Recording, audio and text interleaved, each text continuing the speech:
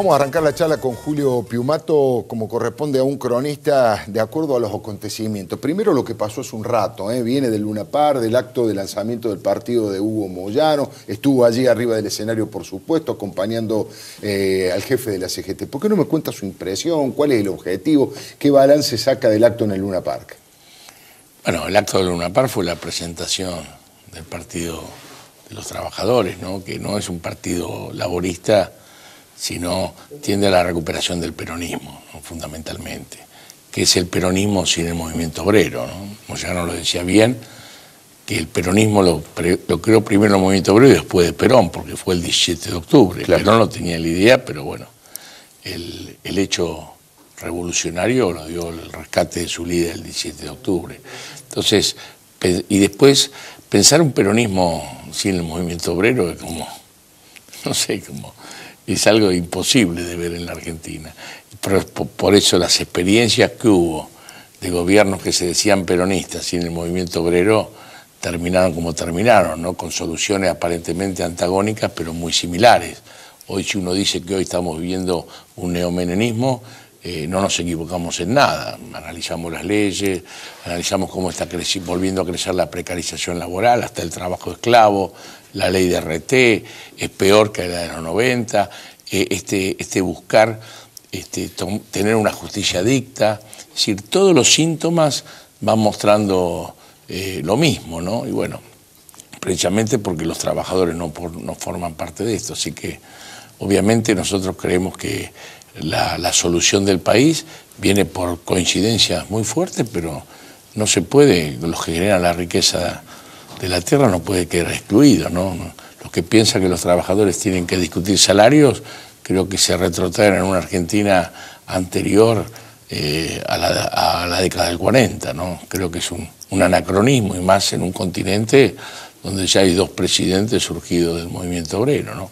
Por eso eh, creo que fue muy importante lo de hoy. Bueno, es importante la opinión que, que hay alguien como Roberto Labaña, que estuvo presente eh, hubo mucha mística y hubo esa sensación que, bueno, compartimos todos, ¿no?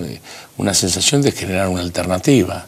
Nosotros ya tenemos un programa Unidad de País, que es el programa de los 21 puntos que diseñó la CGT el año pasado y que están eh, retroalimentándose en una red que se armó a nivel nacional para seguir proyectos y también sabemos los acuerdos que hay que hacer sobre temas puntuales frente a la emergencia que vive que vive la Argentina. ¿no? Coincidimos en las cuestiones que planteó Lavagna recién. Hay otros temas que nosotros agregamos, este, que es, por ejemplo, la cuestión bueno, del, impuesto al trabajo, la cuestión de la discriminación, de la asignación familiar, que es universal su carácter. He faltado decir que hoy se está financiando el pago de la asignación universal a los desocupados, no con los fondos eh, que se van por la corrupción y por los fondos de los grandes grupos económicos, sino se está financiando con el aporte de los trabajadores. Los que los, trabajadores dejan de percibir, los trabajadores activos, con eso se paga a los que no tienen trabajo. ¿no? Es un poco igualar hacia abajo, ¿no? es poner un techo. Esto no es justicia social, sino es mm, cada vez tiene más que ver con una, una suerte de asistencialismo, ¿no? que son las fórmulas que da a conocer en los organismos financieros de crédito, ¿no? Antes... Primero, recién decía la baña, y usted más o menos dice lo mismo, que de este espacio que empieza a surgir, de este peronismo que no comulga con el cristianismo, este peronismo, hoy en el acto lo escuchaba que Moyano decía, nosotros no somos el peronismo disidente, somos el peronismo. Este, ¿Quién es el candidato presidente de ese espacio? ¿A usted, a usted eh, Yo no. No, no, ¿a usted quién le gustaría? No, no, no, yo creo que no, es, almorzarse la cena, como yo digo usualmente, ¿no? Yo creo que hay que esperar, hoy hay un paso que es fundamental, que es esto que estamos viviendo, eh, que es esta elección parlamentaria, donde hay que reconstituir, eh, antes de, que sea demasiado tarde, ¿no? Hoy comparar con el 2001 es aventurado, hay diferencias abismales con el 2001, pero nosotros cuando vino el 2001 lo veníamos diciendo del 96, del 97, cómo iba a terminar la Argentina.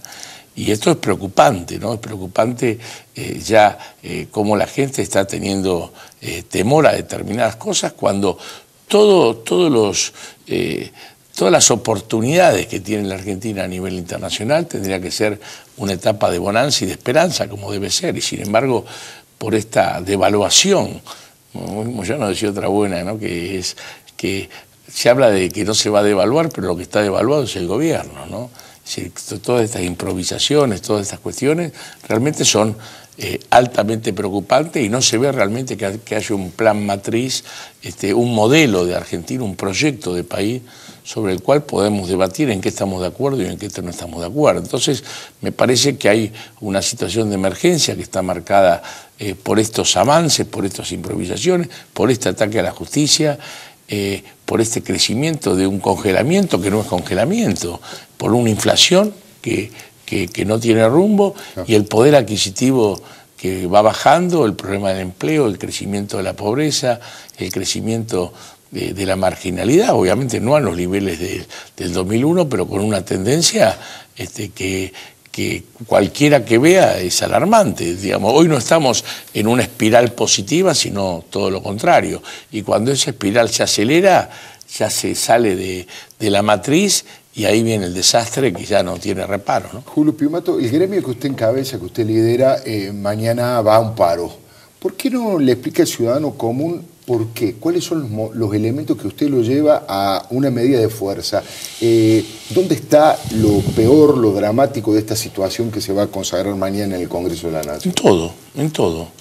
Está en todo. Hasta el proyecto que nosotros podíamos haber compartido que el de ingreso es un proyecto disfrazado, ¿no? Que, es decir, es gatopardismo, cambiar algo para que nada cambie. Van a ser concursos que van a estar amañados porque evidentemente no tienen transparencia. Así que eso, digamos, lo que parece, nada lo que parece un dato menor, no. El tema de las declaraciones juradas ya se ha dicho que, es menos de lo que so pretexto de, que los jueces den declaraciones juradas, se eliminan requisitos para los que estaban poniendo declaraciones juradas. ¿no? Hay, yo, como digo, este proyecto es, reproduce la teoría del Tero, ¿no? Se grita en un lado, agilidad de la justicia, transparencia, democratización, todo, pero se hace todo lo contrario, ¿no?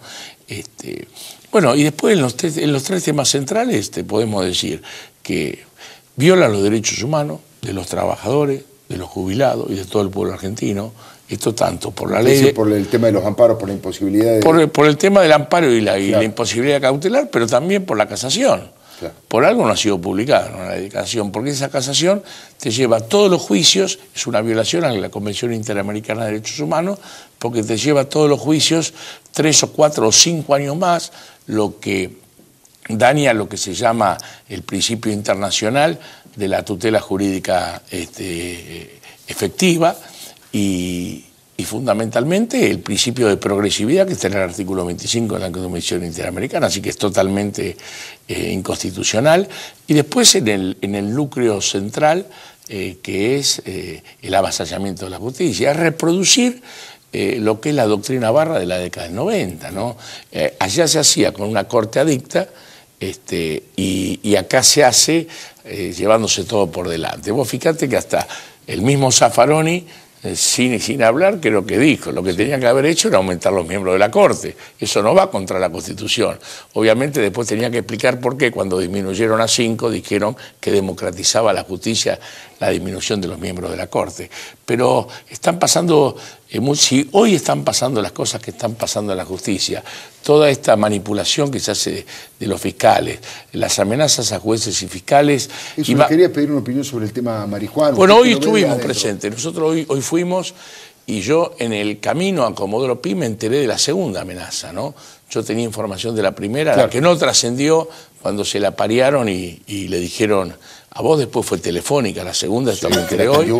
y nosotros íbamos oficialmente como organización sindical a expresar nuestra solidaridad con el fiscal y con el equipo de trabajo del fiscal, los trabajadores, ¿no? Porque realmente así lo misma actitud tuvimos sin tener una relación previa con el doctor Daniel Rafeca cuando, cuando se vio envuelto en todo un ataque sin sentido, porque quien conoce a Rafeca sabe que es una persona eh, honesta eh, y derecha, por lo menos tiene una trayectoria en el Poder Judicial que no está dentro de lo que puede asimilarse a la justicia que hay que cambiar. No todos pensamos que hay que cambiar la justicia, pero este camino no solo no se cambia, sino se va para, para peor. Así que lo vimos este, evidentemente un poco turbado, pero decidido a seguir adelante.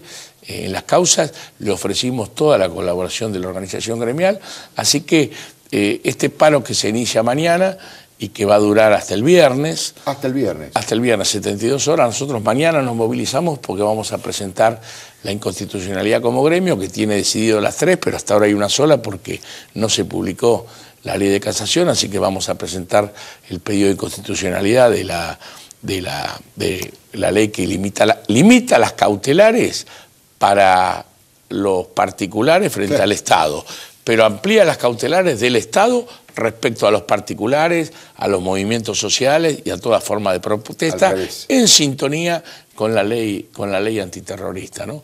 Pero después vamos a parar, como repudio a eso que aparentemente se va a sancionar, y después la semana que viene pensamos, obviamente lo vamos a discutir en asamblea, que va a cambiar la modalidad de lucha. Van a ser más movilizaciones, pero no vamos a incurrir en el paro porque estaríamos beneficiando a aquellos que no quieren que los jueces hagan lo que está esperando el conjunto del pueblo argentino, que hagan respetar la Constitución y decreten cuanto antes la inconstitucionalidad de estas tres leyes. ¿no?